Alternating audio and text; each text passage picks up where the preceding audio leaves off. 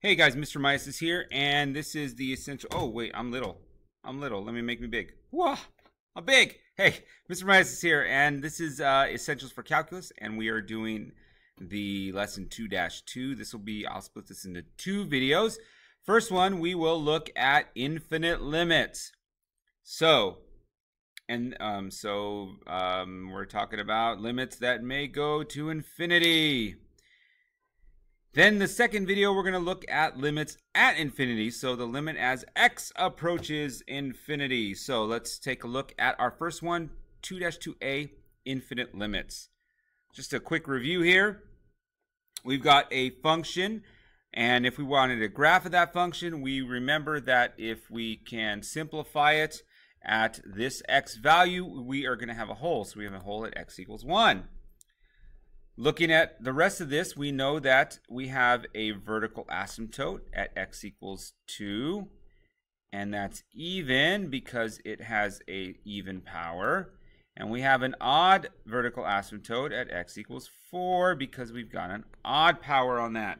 So just a review, an even powered vertical asymptote or an even vertical asymptote means that the function goes towards that vertical asymptote either above, going both up, or both down.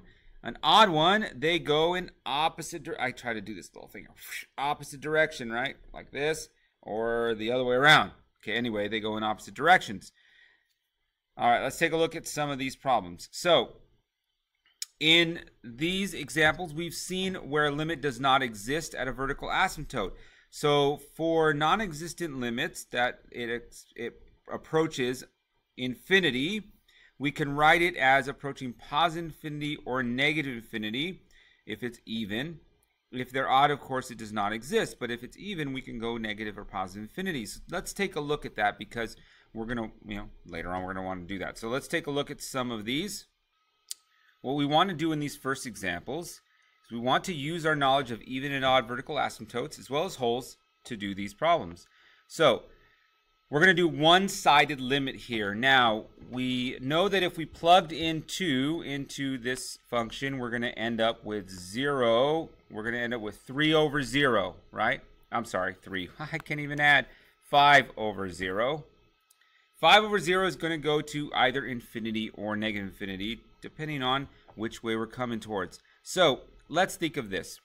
This is what I call sign analysis. And we're just basically thinking of what's going on very, very, very close. So, if I picked a number very, very, very, very, very, very, very close, that my daughter does that all the time. Very, very, I'm very, very, very, very hungry. Very, very close to two from the right. So that means bigger than two. So whenever we see this plus here, that means bigger than two. All right. All right. So we're coming bigger than two. So like 2.0001. Uh, if I have 2.001, then that means that um, this number on the bottom, 2.0001 minus 2 is going to be a positive number. So this is a positive number. This top here is still going to be a positive number. A positive number divided by a positive number is going to be a positive number. So my answer for this is going to be positive infinity. Okay, hopefully that makes sense. If we take a look at from the left, so this time we're coming from the left. From the left means we're coming from a smaller number, right? So the left means this is going to be left. This is a smaller number. Smaller number. So like 1.9999. Now 1.9999, if we're coming from the left, 1.999, the bottom here is going to be a negative. The top is still going to be a positive. A positive divided by a negative is going to be a negative. So that means my answer is going to be negative infinity.